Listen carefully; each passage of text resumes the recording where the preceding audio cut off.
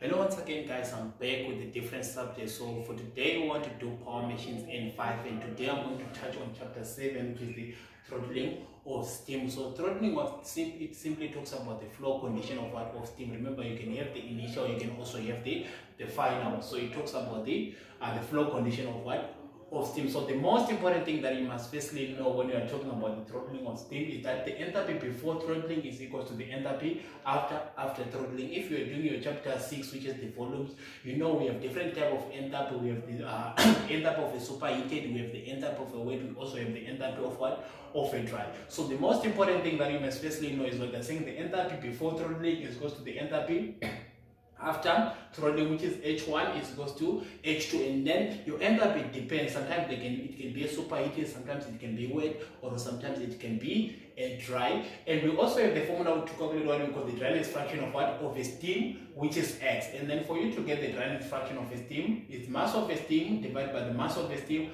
plus mass of what? Mass of a water. We also have the formula to calculate what? We call the dryness fraction in a separate in a separate meter which is x2 and the same calculate your x is going to be the same formula with it, with the first one which is the mass of a steam divided by the mass of a steam plus the mass of what? Of a water. And then also, we also have the formula to calculate the dryness fraction in a throttling meter. So please, this one is for separating meter. You also have the formula to calculate the dryness fraction in a throttling meter. And then your formula to calculate the dryness fraction in a throttling meter, it, it says H1 is equal to H, HX, which means on the on the second one, you can have the enthalpy of a wet, and then on H1, it depends. It can be a superheated or it can be a dry. So you're going to just use this equation. it Says H1 is equal to H HX. So the other side is going to be the wet, and then the other side it can either be a superheated or what or a dry. So you have to calculate your X using this this formula. And then if they say they want the dryness fraction of a main steam, it's going to be x2 multiplied by x3. And I said how do you get your x2 first? Your x2 you're going to get it, which is the dryness fraction in a separate meter, which is x2 is equal to mass of a steam divided by the mass of the steam plus mass of your water. And then your x3, your x3 you're going to get using this formula where you're going to have the, end, uh, the initial enthalpy and then the final enthalpy. And then you have to find your value of what? Of x, which is your x3. And then after you just multiply those two. So this is simply, sometimes they can ask you like to, to calculate your x2 separately, x3 separately, or sometimes your question can just say calculate the dryness fraction of what? Of the main steam, whereby you know you have to get your x2 first and then you also have to get your, your x3 again. So without wasting much of your time, let us uh, do an example from my, from my textbook. Let us see which example can we do which example can we do? Okay i'm gonna do the example example 7 point 7 point 7.6 and then the example 7.6 uh, is this one.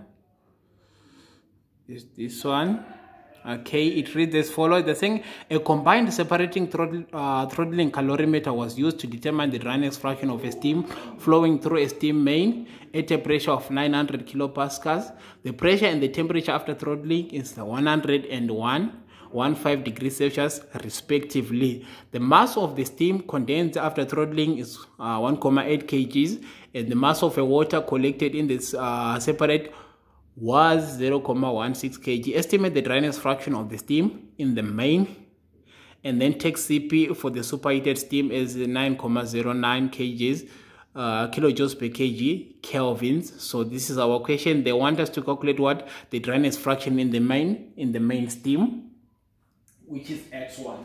Okay, so let me just start by writing the given information.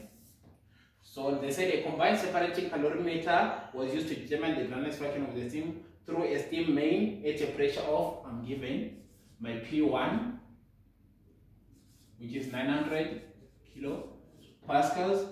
And then they're saying the pressure and the temperature. So now I'm also given the pressure, which is P2, okay, which is 100 kilopascals. And I'm also given the temperature. And uh, with my student, I told them whenever you're given a pressure and the temperature, just know it's superheated. Ne? The only enthalpy which goes with the one with the pressure and the temperature is superheated. So whenever you're given a pressure and the uh, temperature, just know your temperature is given is T, is T. So I'm given as 1, 1, 5, uh, degrees Celsius uh, respectively. That's saying the mass of a steam condensed after throttling is, I'm given the mass of a steam, ms, which is the mass of a steam, which is 1,8 kgs. And then that's said the mass of the water in a separate was, I'm also given the mass of a water, which is 0,16 kgs. And then, okay, they said they want me to calculate the, the dryness fraction on the, on the steam main, and then they said take Cp as 2,09 kilojoules per kg Kelvin. Alright, okay, so this is my information that I'm given. This is my information which, I'm given. And I said for you to get your, your dryness fraction on the main steam is going to be x1 is equals to x2 multiplied by x x3 and then you check you, we don't have x2 we also don't have x3 but i can calculate my x2 using the mass of a steam divided by the mass of a steam plus the mass of what? Of a water. My mass of a steam is 1 comma 8 divided by 1 comma 8 plus 0 comma 116 and then i punch i get my x2 which is 1 comma 8 divided by 1 comma 8 plus 0 comma 16 okay here I'll get 0 comma 91 918 so now I have my x2 I have my x2 and I said your x2 you just use this formula. Remember I showed you from this side. And then now I have to calculate my x3 and then I said on x3 you have to use the enthalpy before it's equals to the enthalpy after which is h1 is goes to h to h2 and then I can see on my h1 I'm only given the pressure so I know this one is what is enthalpy of what of a weight. So I use the formula to calculate the enthalpy of a weight which says hf plus x hfg is equals to and then we also have the enthalpy of a superheated on the other side, since I said you are given P2, you're also given the temperature. So on your H2 is the enthalpy of a superheated, and then the formula says Hg plus Cp open brackets T sub minus Ts. So this is the formula to calculate the enthalpy of a weight, and this is the formula to calculate what we call the enthalpy of what? Of a superheated when you're doing your chapter 6 or chapter 5. That's where you learn this, these things. So alright, okay, and remember I have to look for my x and then that's my x my x3 all right okay. So let us see. I can just make my x the same of the formula. Okay what am i going to do here? I can transpose this one to this other side. This is x h of g is to hg plus cp open bracket t sub minus ts okay and then minus minus hf okay then i divide by hfg i divide by hf G, this one cancel this one, and then to get my x3, it's to be hg plus cp t sub minus ts minus hf divided by hf hfg. Alright, okay, so let me get my values. I can start with my HF and also HFG. So your HF and HFG, you're going to get it on the steam table and the steam table is given in the exam. This is the steam table you're going to be given in the exam. That's where you get your values.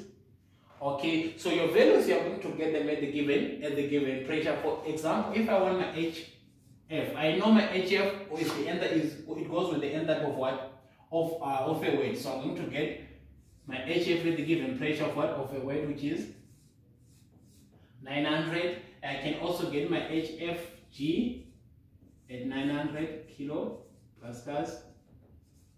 Okay, so when I go to the superheated, I can get my Hg at my pressure of the superheated, which is 100.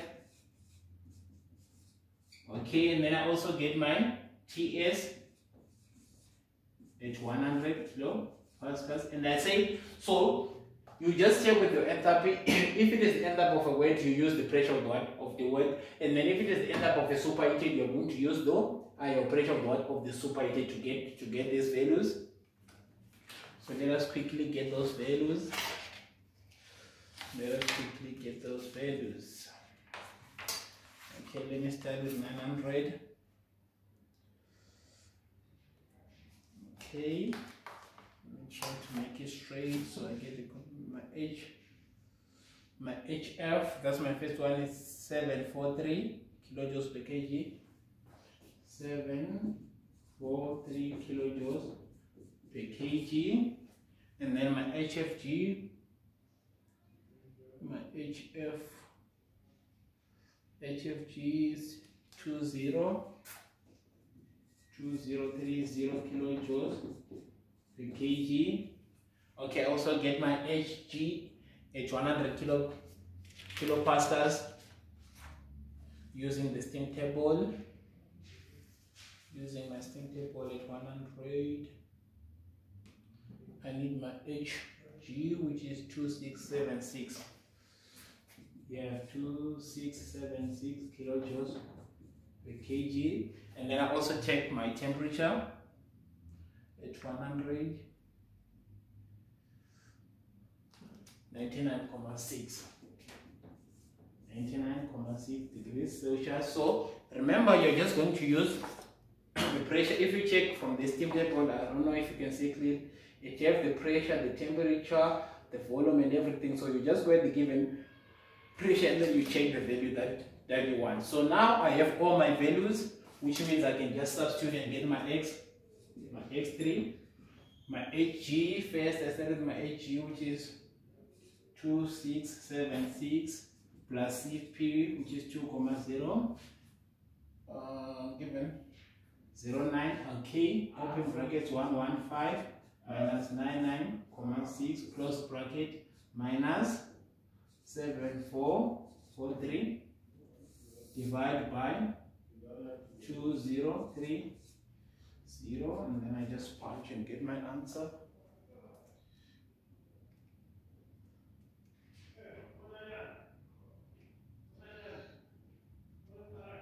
Okay. Two six seven six plus two zero.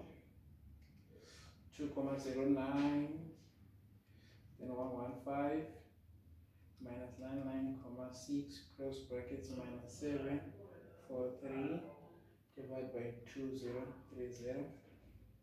I get my answer is 0 comma 968 and then to get my final answer now I have my x2 I also have my x3 so it's just gonna be 0 comma 918 multiplied by 0 comma 968 then I get my dryness fraction of the of the main steam 0 comma 918 multiplied by 0 comma 968 and then I get my dryness fraction is 0 comma 889 and this is my final answer. So basically that's it. So some, I said some, some of the questions they can ask you to calculate your x2 and x3 uh, separately and then you get your, your x1 but on this one they just wanted the the dryness fraction of the of the main steam whereby I know I have to calculate my x2 I also have to calculate my x my x3 after that and then I just multiply the two and then I get my get my answer. So basically this is it about the throttling of what?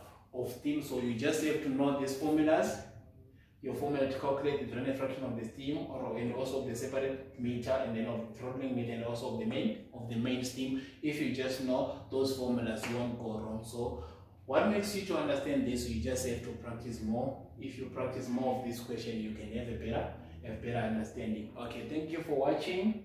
I will see you next time